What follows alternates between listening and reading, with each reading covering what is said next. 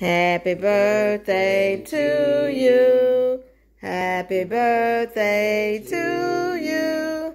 Happy birthday, dear Kenneth.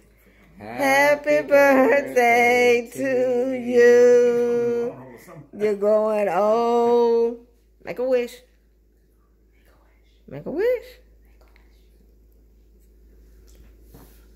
Make a wish. If you hadn't blown that out.